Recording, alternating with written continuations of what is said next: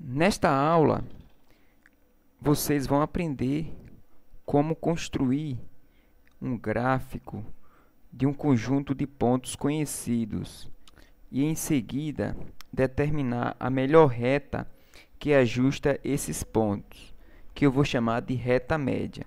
O processo é feito por regressão linear.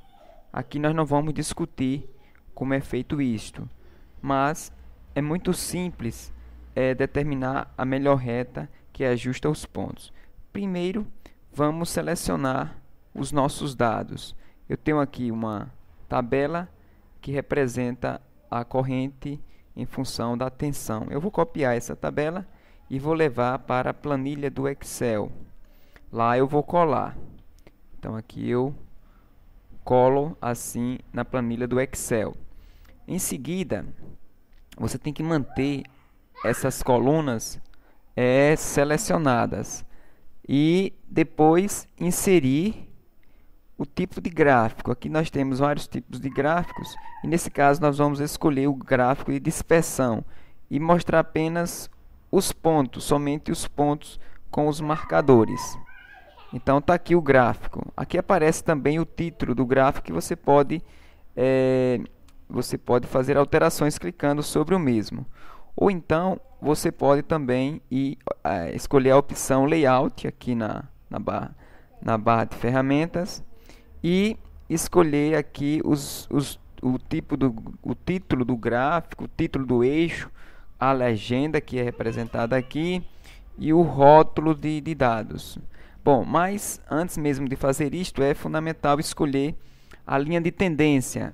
Então vocês devem primeiro escolher a opção linha de tendência. E aqui nesta opção, você, é, em vez de escolher a linha de tendência linear, que é o que a gente vai fazer, mas é importante escolher essa última opção aqui, mais opções de linha de tendência. Porque aqui a gente vai poder, clica, a escolher o tipo de linha de tendência que dese desejamos escolher.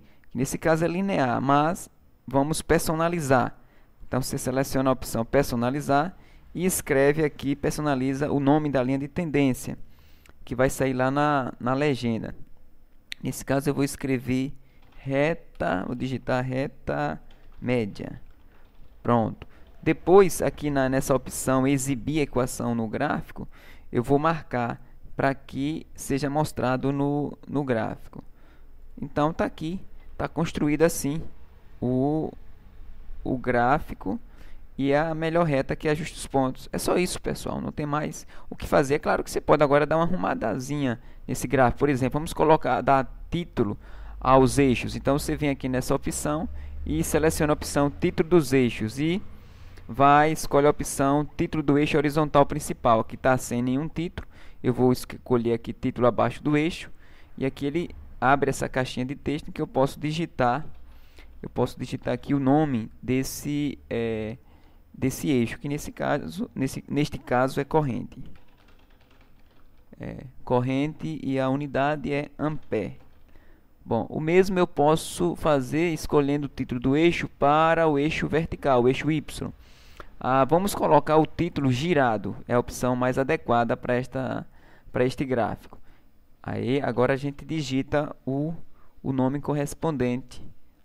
Nesse caso eu vou escolher eu vou digitar que aqui no, no caso representa a tensão. Então, eu digito tensão, medida em, em volt. Ok? Medida em volt. Pronto, está aqui o nosso gráfico prontinho. Está aí. Muito simples né? e eficiente. O, o, problema de determinar a melhor reta que ajusta os pontos. Espero que vocês tenham gostado né, deste, é, deste material e que use para construir outros tipos de gráficos. Né?